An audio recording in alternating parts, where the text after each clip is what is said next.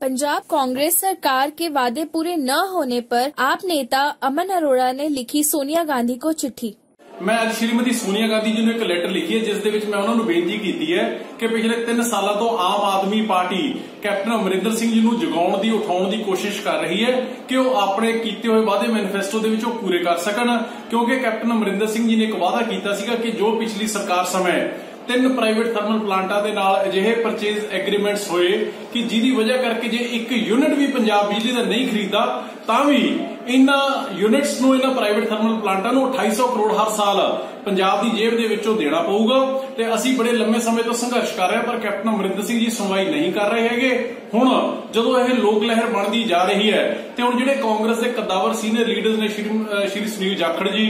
ਸੁਖਜਿੰਦਰ ਰੰਧਾਵਾ ਜੀ ਸਰਦਾਰ ਪ੍ਰਤਾਪ ਸਿੰਘ ਬਾਜਵਾ, ਸ਼ਮਸ਼ੇਰ ਸਿੰਘ ਦੁੱਲੋ, ਉਹਨਾਂ ਨੇ ਵੀ ਕਹਿਣਾ ਸ਼ੁਰੂ ਕਰ ਦਿੱਤਾ ਕਿ ਲੁੱਟ ਬੰਦ ਹੋਣੀ ਚਾਹੀਦੀ ਹੈ ਔਰ ਇਹ ਜਿਹੜੇ ਪ੍ਰਾਈਵੇਟ ਥਰਮਲ ਪਲਾਂਟਾਂ ਨਾਲ ਐਗਰੀਮੈਂਟ ਹੋਏ ਨੇ, ਇਹ ਕੈਪਟਨ ਅਮਰਿੰਦਰ ਸਿੰਘ ਨੂੰ ਰੱਦ ਕਰਨੇ ਚਾਹੀਦੇ ਨੇ। ਸੋ ਇਸ ਵਜ੍ਹਾ ਕਰਕੇ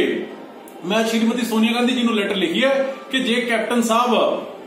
ਆਪਦੇ ਵਾਅਦੇ ਸਾਰੇ ਭੁੱਲ ਚੁੱਕੇ ਨੇ ਤੇ ਜੇ ਸਾਡੀ ਔਰ ਪੰਜਾਬ ਦੇ ਕਰੋੜਾਂ ਲੋਕਾਂ ਦੀ ਗੱਲ ਨਹੀਂ ਸੁਣਨੀ ਚਾਹੁੰਦੇ, ਤਾਂ ਘੱਟੋ ਘੱਟ ਆਪਦੀ ਸਰਕਾਰ ਦੇ, ਆਪਦੀ ਕੈਬਨਿਟ ਦੇ ਤੇ ਆਪਦੇ ਪਾਰਟੀ ਦੇ ਜਿਹੜੇ ਸੀਨੀਅਰ ਕਲੀਗ ਨੇ ਉਹਨਾਂ ਦੇ ਉਹਨਾਂ ਦੀ ਸੁਣ ਲੈਣ, ਇਹ ਤਿੰਨੇ ਪ੍ਰਾਈਵੇਟ ਥਰਮਲ ਪਲਾਂਟਾਂ ਦੇ ਨਾਲ ਐਗਰੀਮੈਂਟਸ ਨੇ ਉਹ ਰੱਦ ਕੀਤੇ ਜਾਣ ਤਾਂ ਕਿ ਪੰਜਾਬ ਦੇ ਪੈਸੇ ਦੀ ਲੁੱਟ ਔਰ ਜਿਹੜੇ ਪੋਲਿਊਸ਼ਨ ਨਾਰਮਸ ਦੀਆਂ ਧੱਜੀਆਂ ਉਡਾ ਰਹੇ ਨੇ, ਇਹ ਤਿੰਨੇ ਪਾਵਰ ਥਰਮਲ ਪਲਾਂਟ ਇਹਨਾਂ ਦੇ ਐਗਰੀਮੈਂਟ ਨੇ ਜਿਹੜੇ ਉਹ ਰੱਦ ਕੀਤੇ ਜਾਣ ਤਾਂ ਕਿ ਪੰਜਾਬ ਦਾ ਪੈਸਾ ਤੇ ਪੰਜਾਬੀਆਂ ਦੀ ਸਿਹਤ ਬਚਾਈ ਜਾ ਸਕੇ।